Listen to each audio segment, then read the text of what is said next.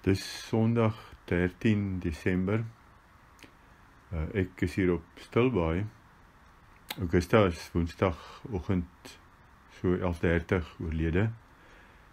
En is maar 'n bietjie van 'n rowwe rit uh om tot hier te kom. Ek het nooit geleentheid gehad om haar behoorlik te groet nie. Sy het vir my gebel en gesê ek groet jou, baie dankie vir alles net voor hulle vir haar op die ventilator gesit het.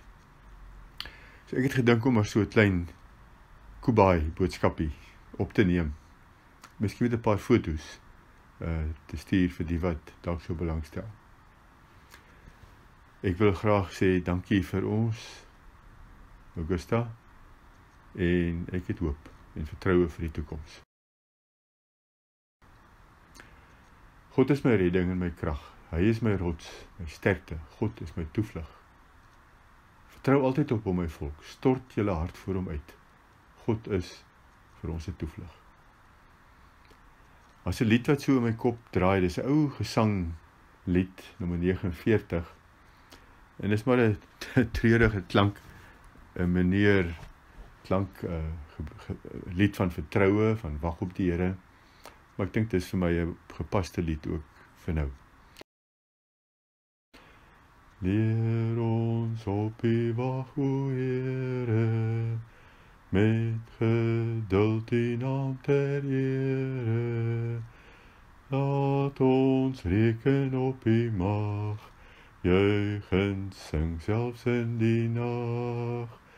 Leer ons op die genade, te bevestig met ons dade dat ons vir die toekoms blind aan u vashou soos 'n kind. Leer ons om ons nie te kwel nie, of voor môre te ontstel nie. Al kom kwaad ons tegemoet, stil vertrou die Here is goed. Leer ons dank in ons gebede, selfs in stryd en moeilikhede, vreugde vol deur elke dag. Leer ons Here op U wag. Daar is 'n gedeelte wat ek graag vir jou wil lees, Augusta. Spreuke 5 vers 15 tot 19. Drink water uit jou eie opgaarput en lopende water uit jou eie bron. Moet jou fonteine straat afspoel op die dorpspleine watervore word. Dit is vir jou alleen bedoel en nie vir vreemdelinge by jou nie. Mag jou waterbron geseënd wees. Verheug jou oor die vrou van jou jeug. 'n Bekoorlike rooi takbokkie, 'n grasieuse klipbok oetjie. Haar borste mag hulle jou altyd bevredig. Mag jy deur haar liefkosings voortdurend bedwelmd wees. My liefste Augusta, dit bly 'n mooi storie hoe ons ontmoet het op Stellenbosch en ons liefde gegroei en gebloei het. Ons het mekaar so 'n bietjie opgelet al voor ons ontmoet het met daai amper in my arms val by Jonkershoek se kringleierskamp van Januarie 1978.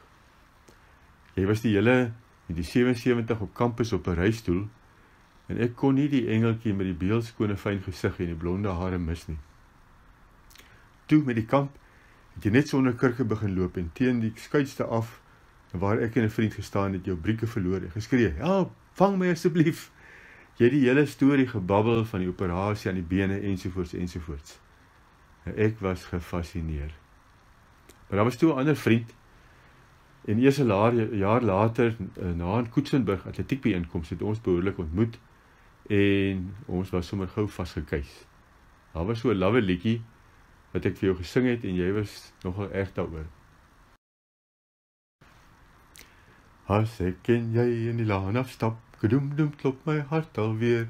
Die afskeid neem is tog so swaar. Gedoem doem klop my hart. Jy is die nooi vir my. Ek wil na jou vry. As ek jou nog trou, dan moet dit wees met jou. As ek en jy in die laan afstap, gedoem doem klop my hart alweer. Die afskeid neem is tog so swaar. Gedum dum klop my hart. Gedum. Gedum. Gedum dum klop my hart. Gedum. Gedum. Dit was dalk nie so baie mooi uitgevoer nie, maar die beste wat ek kan doen. Die volgende 2 jaar het ons mekaar leer ken en ontdek, wonderlike sorgvrye tye en avonture saam beleef. Ek het jou ouers leer ken op Woester. Gereeldag in kuier saam met jou en ook op Stilbaai en dit het my soos my tweede huis geword. Na dieselfde jaar het ons op pad na Sakla se konferensie in Pretoria by my ouers op Keetmanshoop gekuier. En het hulle ontmoet en ons het ook daai huis besoek. Uh trein gery en gevlieg van Appington af Pretoria toe. Ons het onafskeidbaar geraak en besluit om te trou op Sondag 14 Desember 1980. Was die beste troue waarby ek nog ooit betrokke was. Ons het huis opgesit in Valaria 610 op Stellenbosch vir ons laaste studiejaar.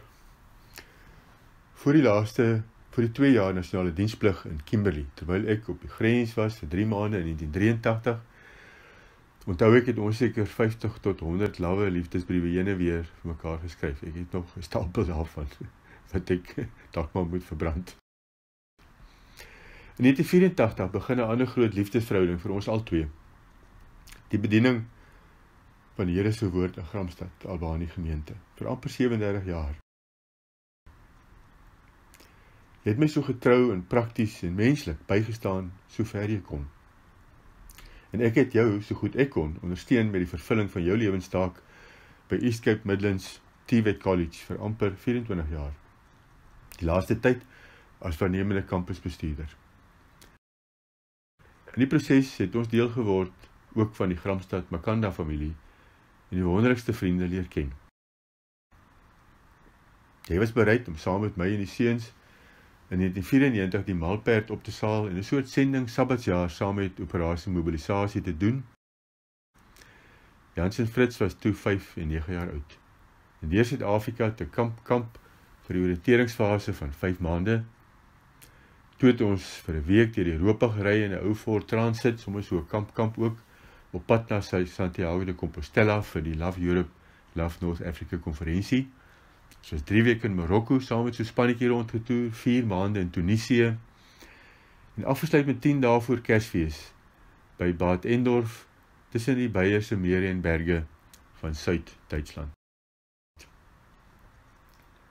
In 1991 toer ons reg rondom Suid-Afrika met die Bantam en die ou skemp karavaantjie. Dit was 'n belewenis. O ja, ons het nog met dieselfde wit Bantam en daai 6 voet venter Kafaan, soos die kinders hom genoem het. Uh deur Zambië en Zimbabwe getoer in Desember 1993. Watter jare wou jy graag na Indië gaan en ons twee kon op ons eie die twee wonderlikste toere onderneem. Ons vakansies by familie op Stilbaai en Hermanus is altyd te lafenis en verkwikkend aan die einde van die jaar. Ons was so geseënd en gelukkig. As daar die onvermydelike misverstande tussen ons was, onthou ek hoe ons tot na slaaptyd sou roei en stoei tot ons in vrede met 'n soen en 'n druk kon inkruip. Ek was beslis baie keer meer verkeerd as jy, maar jy het my altyd mooi reg gehelp en vergewe. Ek sou nog soms 'n ding probeer regpraat, maar jy was altyd helder en duidelik oor reg en verkeerd. Die Here het jou opregtheid gebruik om my krom en skewe lewe Peter te skaaf. In die 92 het die Here my amper direk kom leer dat ek jou met lief hê. Soos Christus die gemeente deur sy lewe daarvoor af te lê. Ek het aanvanklik baie gehou daarvan as ek sê ek het jou lief omdat ek jou moet lief hê nie. Maar dit het perfek gewerk vir ons. En deur dit alles heen kon ons mekaar vashou in liefdestrou, mekaar bewonder, bemin en geniet. Jy het vir my gebly, die vrou van my jeug oor wie ek my kon verheug, 'n bekoorlike rooi takbokkie, 'n grasieuse klipbokoetjie en die ander goedjies wat daarmee saamgaan, die bedwelming van die liefde. As gevolg hiervan onder andere het die Here ons geseën met twee baie spesiale, unieke en begaafde seuns, Jans en Fritz.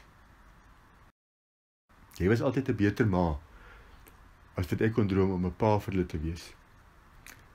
Ek is seker dat hulle jou net so pynlik en ontsettend gaan mis die jare wat kom. Ek sal my bes probeer om hulle by te staan en te ondersteun en lief te hê al voel ek maar erg alleen en onbekwaam sonder jou.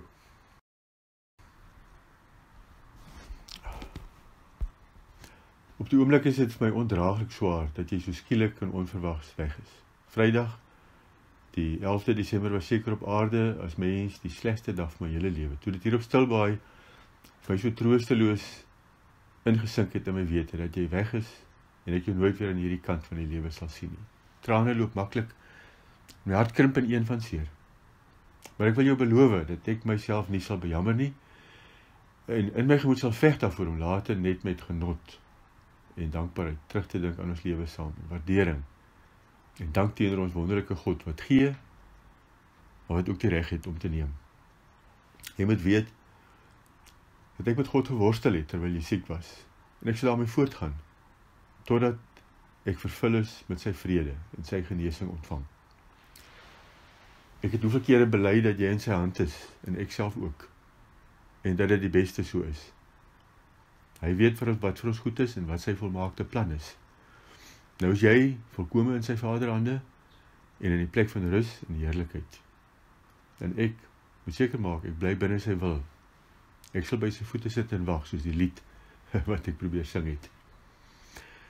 Ek wens ek kon hierdie ding op 'n ligte noot gesê het, maar dit sal kom. Ek is vol vertroue dat sy plan vir my pad vorentoe duidelik sal ontvou. Ek wil ek so so baie mense iets sê soos rustig my skat. Maar die Here het mos iewers gesê oor min was jy getrou, goeie en getroue dienskneg. Oor baie sal ek jou aanstel.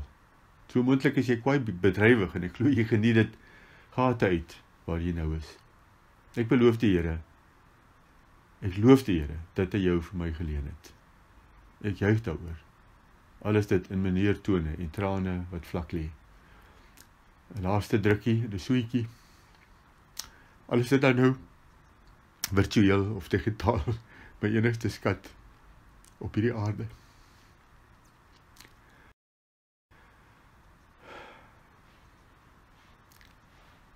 Psalm 27 vers 13 sê: As ek daarom nie geglo het dat ek die goedheid van die Here sal sien in die land van die lewendes nie.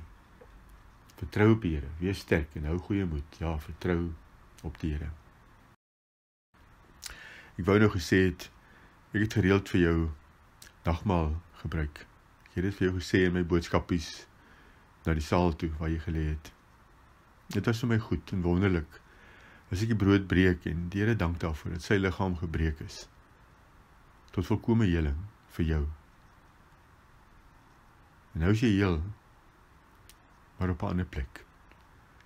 En ek het daardie beker van danksegging geneem. Die Here gedank dat sy bloed gevloei het tot 'n volkomme verzoening vir al ons sondes, vir my sondes en jou sondes. En tot 'n reiniging van ons lewens en 'n genesing van alle sondes en kwale en siektes.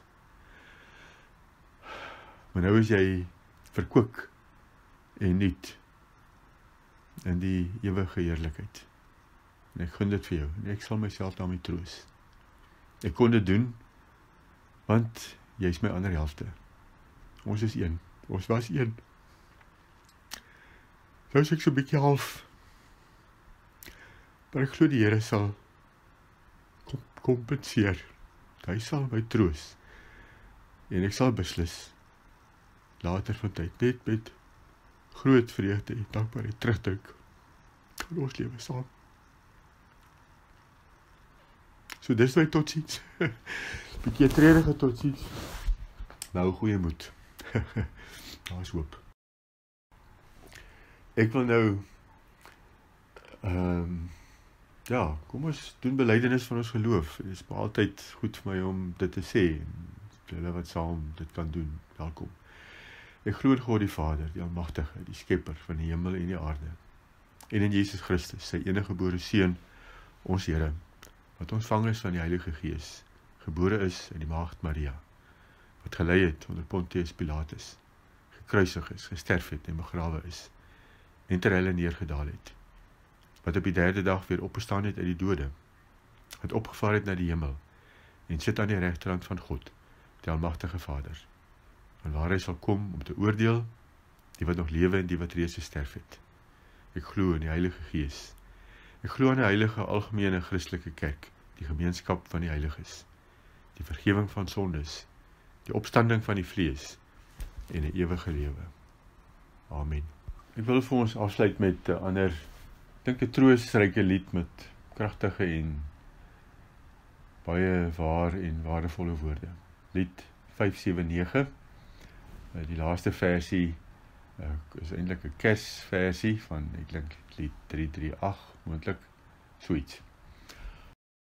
Ons harte is verheug dat God beskikker van ons deel en lot ons lewe in sy hande hou hom kan ons alles toe vertrou hy wat sy eie weg wil gaan sien dwalig soms versterre aan en as die skynsel hom bekoor dan dwaal hy van die regte spoor. God ken alleen die regte pad, wat uitloop op die hemelstad. Hy weet of voor of die spoed, die beste is vir ons gemoed. As ons die doodsvallei betree, kan selfs ons beste vriend nie meer, maar hy die troue vriend in nood, bly by ons deur graf dood. Saam prys ons Immanuel, hy kom oorwin die dood en hel, U maak ons van die sonde vry. Ons loof aan bid en dank U bly.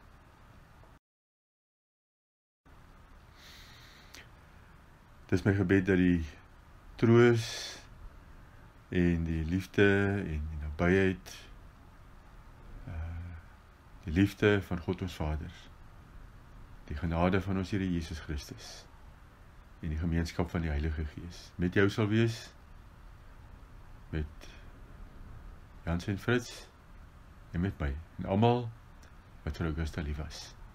Wat dag geniet het en waardeer het.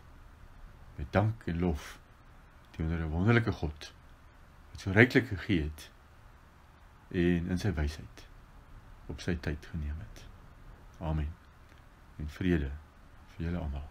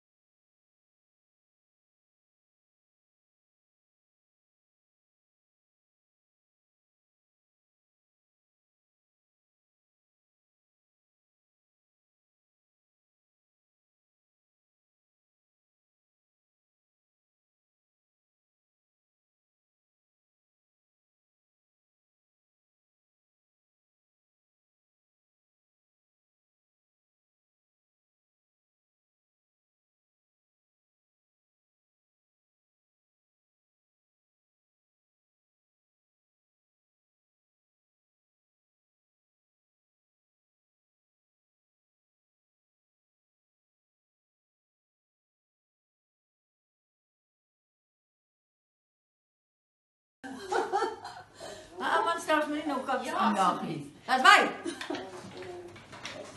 Wow. Van foto. Nee, wag, wag, hulle gaan Aksie.